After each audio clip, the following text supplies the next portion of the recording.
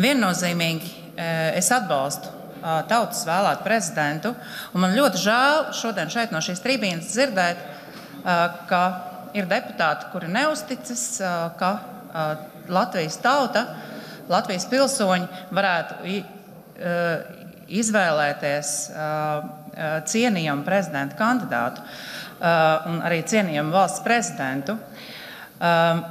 Man ir žēl, ka šodien no šīs tribīnes es dzirdu kā argumentu piesauktu situāciju Baltkrievijā, situāciju Krievijā.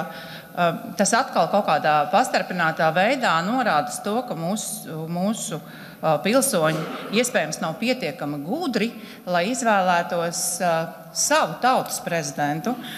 Nu, cik jūs ilgi uzskatīsiet cilvēkus par aitu?